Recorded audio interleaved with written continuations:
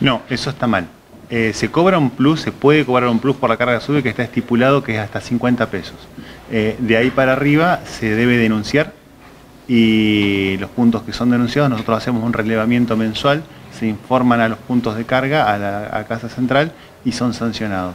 No se puede cobrar más de 50 pesos por eh, recarga porque no está homologado, no está autorizado por el sistema SUBE. De igual forma que la tarjeta SUBE tiene un costo que se abona al momento de la primera carga, es decir, la tarjeta SUBE al momento de adquirirla no se paga.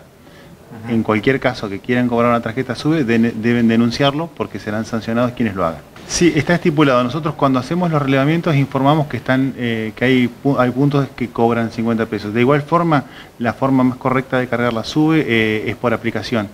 La única precaución que hay que tener cada vez que se haga una recarga SUBE es cuando encontrás un TAS, que es como un teléfono, un teléfono público antiguo, es una validadora, eh, siempre que lo tengas a mano y siempre que tengas la tarjeta SUBE, conviene colocarla porque es la forma de que se acreditan los, saldos y los créditos en la tarjeta SUBE. Así que yo les recomiendo a todos los usuarios SUBE, cada vez que vayan a un TAS, coloquen la tarjeta. Van a saber qué saldo tienen y de paso si han hecho una carga eh, de forma virtual o, de, o, con compra directa en un, en un, comercio, se va a acreditar ese, ese saldo.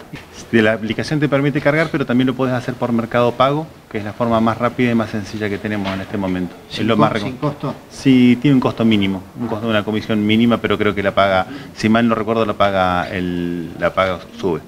Sí, hemos estado trabajando a pedido de, Matías cuando yo recién asumí, lo que me encargó es que trabajara sobre lo que era el mantenimiento, si bien es una de las dependencias que tengo en mi cargo, la terminal tengo tres más, él lo que me encargó es que mm, tratara de, actualizar y de, trabajar lo que estaba roto.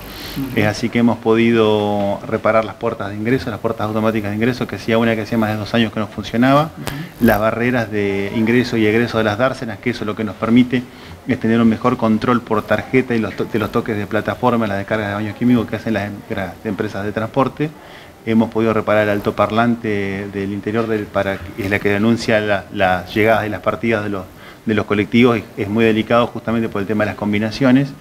Y mm, también esta semana pudimos concretar la compra de, de una de las calderas que tiene la edad justamente la terminal, está por cumplir 30 años y ya llegó a, su límite de vida, por eso estamos teniendo hoy por hoy un, problema, pero hay que destacar la predisposición del personal de mantenimiento de la terminal que la hace funcionar a pesar de todo y también lo que hay que destacar que bueno, otra cosa que se hizo fue el restablecimiento de la iluminación externa de la terminal que hacía mucho tiempo que, estaba fuera de servicio. No sé si se acuerdan que hubo un, robo, un, un problema grave ahí y había un cortocircuito.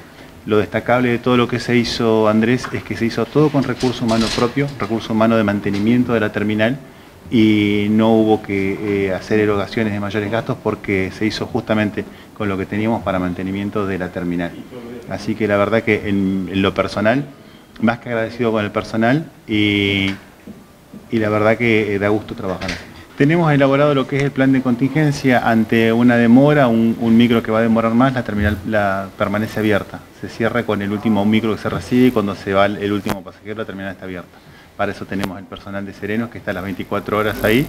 Y bueno, en el caso de la, inclemencia climática que tuvimos anteriormente, estuvimos trabajando en conjunto todo el tiempo, trabajamos vinculados con defensa civil y con vialidad para llevar un relevamiento y la información constante con prensa municipal para saber qué, empresas tenían demoras, qué empresas venían, eh, habían suspendido el servicio, que en realidad lo que se estila ahora es directamente suspender los servicios, lo cual me parece que es mucho más conveniente para que la gente no quede varada en viaje. Es preferible que una persona o un pasajero espere en su casa o en su destino, eh, el destino que estaba en ese momento, a no que quede varado en, la mitad del viaje como nos ha ocurrido. Tuvimos un caso, sí que, tuvimos que se tuvo que alojar en, en la residencia deportiva, pero bueno, lo que se, lo que se espera y lo que se busca es que eso no ocurra.